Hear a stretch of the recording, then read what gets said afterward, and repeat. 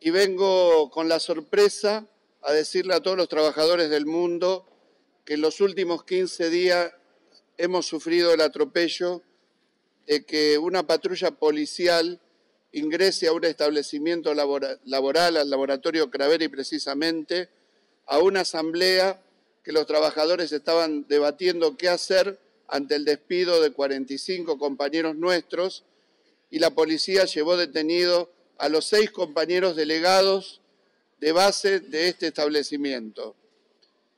Hecho que se volvió a repetir con un delegado posterior y hace exactamente cinco días con dos compañeros más. Por eso es que le agradezco este minuto. Hemos ya presentado la denuncia ante las autoridades de la OIT para que se estudie y se investigue esta situación, pero vuelvo a repetir, este hecho inédito que no sucedía en la Argentina desde la triste historia que no tan, no tan lejana de los años 70, donde sufrimos y padecimos una dictadura muy grave. Le agradezco la solidaridad y este minuto que me dan para poder expresar y denunciar este hecho. Muchas gracias.